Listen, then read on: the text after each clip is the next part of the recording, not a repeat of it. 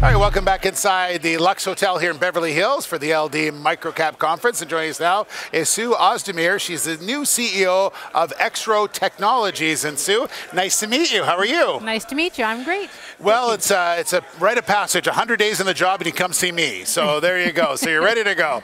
So yeah, it's been 100 days since you've been taken over as the CEO. Before we get into the, the for Exro, let's do a little bit of background work for here. You've loved engines since you were a little girl, is that right? That's right. That's right. I, I'm definitely love being a woman, but I grew up in a motor repair shop, and I could wind a motor before I was 16 years old. Right. So I've always had a love for electric motors, emerging technology and motors, and spent all my career working in the motor industry. You get that from your mom or your dad? Both. Both. Both. Probably a little bit more. Not both. Both. Both. Okay.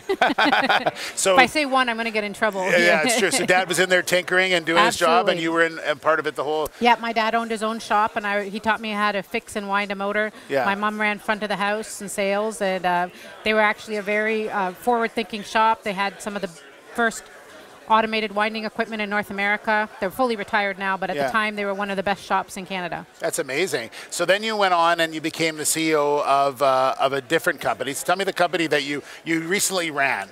Yes, yeah, so most recently I was the CEO of GE Industrial Motors, yeah. based out of Houston, Texas. Okay, and then uh, there was a merger happen, and then you, you obviously kept running that as the CEO, and then all of a sudden Exro comes along. So why leave there to come to Exro? What is it that you liked about the company?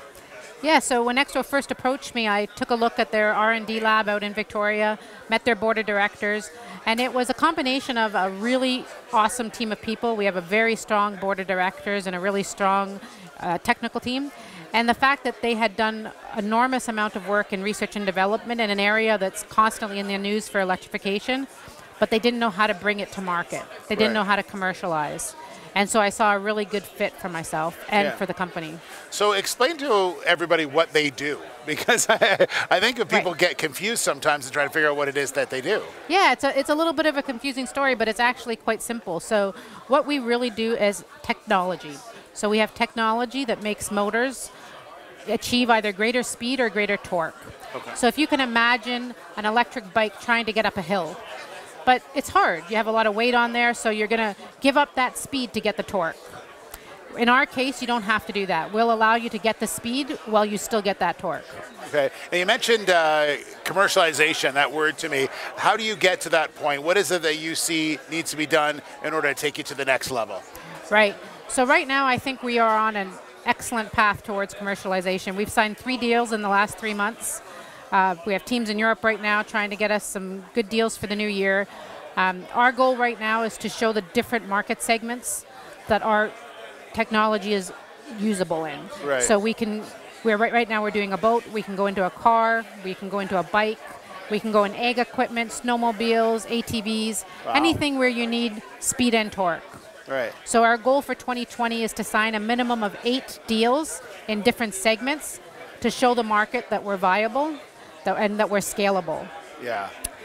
That's the key, right? The word there, scalable, is what the market looks at. Absolutely. Most of what we call competition is companies that are developing a new motor that is trying to get torque or trying to get speed, but they have to build a manufacturing facility. They have to scale that to large volume, where we work within the existing powertrain.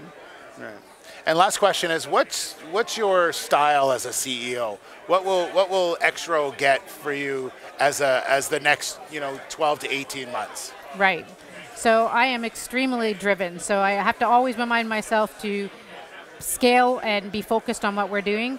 But I'm a big believer in people. So we have great technology, but we also have a phenomenal team. They're there day and night pushing to make us meet our commitments. And I really, really believe that if you can build a big team, a good, strong team, and retain good talent, you can't fail. That's right. If you need help, you just call Dad, right? That's right. Ask him for advice. Great to meet you. Congratulations you so on the new job. Look forward to hearing more from you. Uh, Sue Ozdemir, she's the CEO of Exro Technologies.